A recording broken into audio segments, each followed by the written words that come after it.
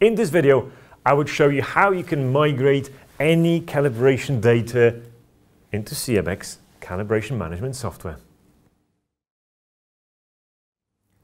Hi, my name is Michael and welcome to Beamex channel.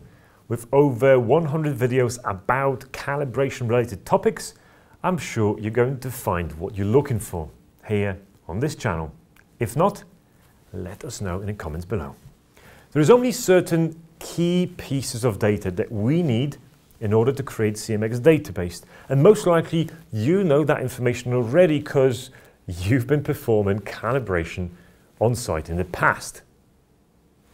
Tag ID. What is it? What does it do? Range of instrument, pass and fail criteria, how many calibration points do you do? That kind of data.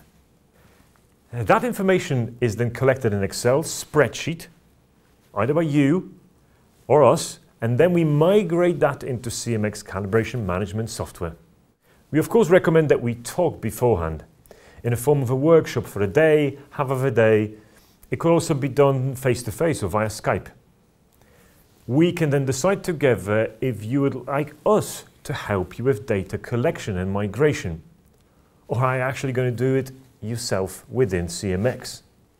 If you want us to do it, typically 500 position database could take us between three and five days to create a spreadsheet spread over a few months. If you do it, we recommend you do that inside our software. Obviously, either way, you have to supply quality data. So which method to choose? You or us? Well, that totally depends on the budget if you've got a small budget, hire us. If you've got more money and time to spend, do it yourself with our guidance, of course.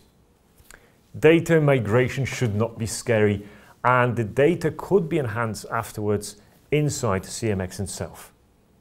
Actually, if you get the data right from the very beginning, you will enjoy your new CMX database in no time, because we're here to help and guide you throughout the process from the very beginning.